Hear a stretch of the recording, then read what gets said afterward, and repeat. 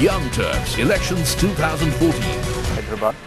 Our Young Turk and real estate portal commonfloor.com has acquired Flat.to, a real estate service that helps students and bachelors find flats, paying guest accommodation and hostels across Mumbai, Pune, Bangalore, Kota, Jaipur and Delhi. Well, that's a wrap on this edition of Young Turks. As always, send us your feedback and your suggestions to youngturks at network18online.com. Log on to our website, youngturks.in.com. You can also Facebook or tweet us. Our Twitter handle is at Shireen Vaiti. Till next week, from everyone here on the Young Turks team, goodbye and many thanks for watching.